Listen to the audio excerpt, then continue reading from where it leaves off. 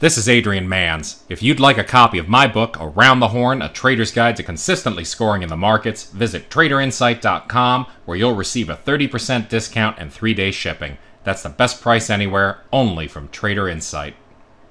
How would you like to have a 6% return every month?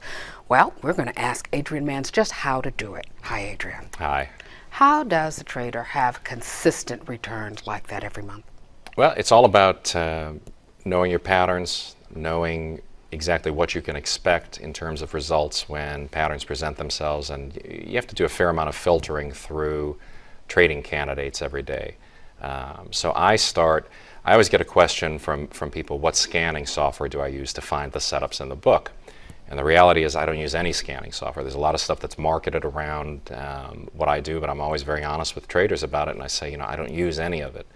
Um, what I do is sit down with a list of 1,500 stocks every day, and I flip through those charts. And then I try to see whether or not there's a, a confluence between what's happening in an individual stock and what might be happening in the sector that it belongs to, what's happening in the major indices. And I try to find things uh, to include in our trading plan then that seem like they've got sort of a path of least resistance between the entry and the profit target. So we do some very, very careful screening of our trading candidates. And I think that over time, what happens is you, you sort of figure out a way to uh, add a predictive element to what your level of profitability is going to be. And that's sort of where we are. This, this six points or 6% a month has been, uh, has been year over year, month over month. We haven't had a losing month on the trading plan in uh, four years. So it's, it's been a very reliable indicator of what's about to happen in the market. You have to then repeat the same thing every day. Can you walk me through what a typical day is from start, how early, and how long? Sure. Well, we're out on the West Coast. Obviously, we're in Los Angeles, so uh, day starts for us about quarter to six. Um, get up, sort of catch any economic news that might be out there. It doesn't affect our trading plan. We don't we don't use that as a filter. We just like to know what we're in for. Um, we take the previous session's plan, trade it to the letter. We just get in there. We're very robotic about it. Hold ourselves. Uh, um, to exactly the specifications that we had for handling each one of the trades.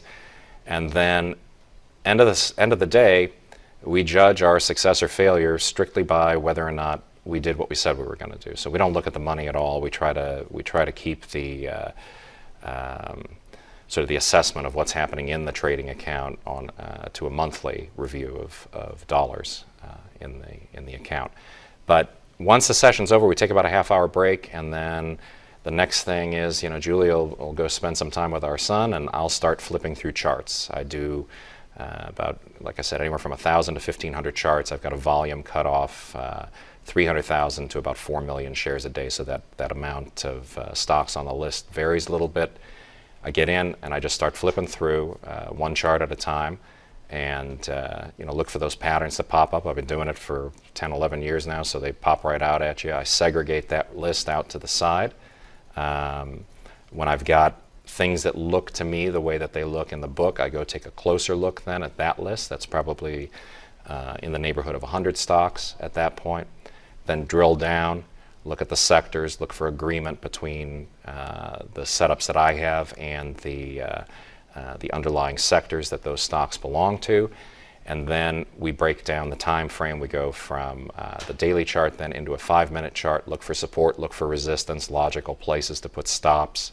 Um, I'll use the volume weighted average price uh, to try and va- validate uh, an area that I've identified as a stop loss. And then if all those things come together and we have better than a one to one risk reward ratio on the trades, I'll take those three or five trades and hand them to Julie and she takes another look. And then uh, she'll go through, she likes a 25 tick chart to uh, establish stops. She likes to take the time uh, compression out of it and just go with a, uh, a, true price compression. And then she'll come back and give me the yay or nay in her opinion on a few things, and then we'll talk about it. And uh, we've got our trading plan for the next day. Wow. That's great. Thank you very much for joining us. Thank you. Our guest today, Adrian Manz. You're watching the MoneyShow.com video network.